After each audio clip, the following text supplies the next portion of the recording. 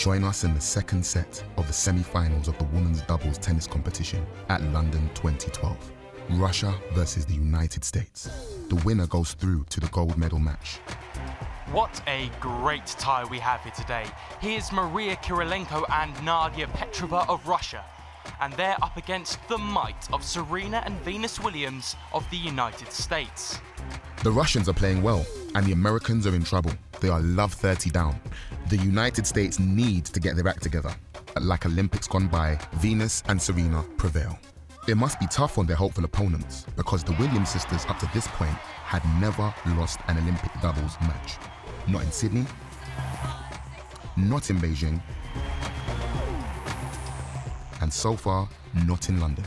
It's a perfect record. And when it came to the crucial points, the sisters weren't going to budge. They always found a way. But then they did have an advantage. They were two of the best tennis players of all time. Venus Williams won Wimbledon five times and the US Open twice. She was world number one for several weeks. It would have been more if it wasn't for her sister, Serena Williams. Serena was the dominant force in female tennis for at least a decade at the start of the 21st century. She won all four Grand Slams many, many times. Serena was in dazzling form at London 2012. She had already won the Wimbledon singles title that summer, and in the Olympic singles semi-final, she came up against world number one Victoria Azarenka. Serena handed her Belarusian opponent a drubbing on the historic centre court at Wimbledon. The Serena serve, the Serena backhand, the Serena forehand, and the Serena serve again. Serena's opponent in the gold medal final was world number three and arch rival Maria Sharapova.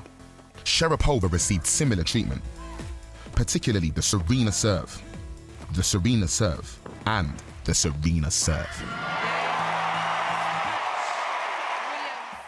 You'll have noticed that when either one of the Williams sisters is on song, that shot in particular stands out.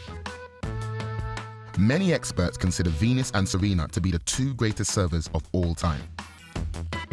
Throughout her career, Serena dominated the serving statistics. Her points won on serve way ahead of her rivals. Serena's fastest recorded speed is 128.6 miles per hour.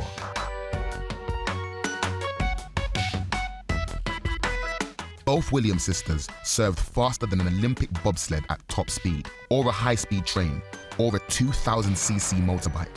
Here's what it's like to be on the receiving end of a Serena serve. You get about half a second to react and try and get the ah. ball back. Ow. Ooh.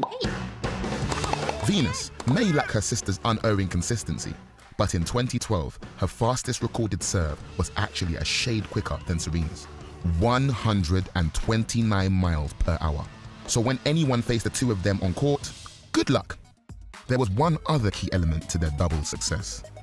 They were sisters, they were close, they worked as a team for each other. All those hours, days, and weeks smashing balls on the public courts of South Central Los Angeles prepared them for whatever tennis threw at them.